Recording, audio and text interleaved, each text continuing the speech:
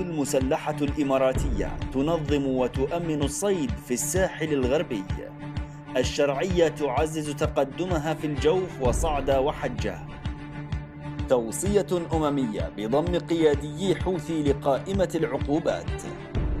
الحكومة اليمنية تطالب دعم خبراء ماليين من الإمارات والسعودية. تدمير صاروخ باليستي فوق نجران.